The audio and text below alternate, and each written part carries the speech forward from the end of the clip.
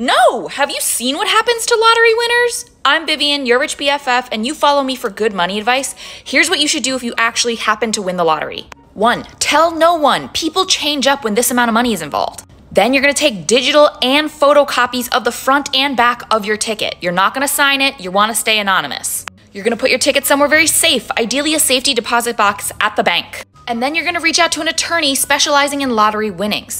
You're gonna work with them to see how long before you have to claim and if you can claim anonymously.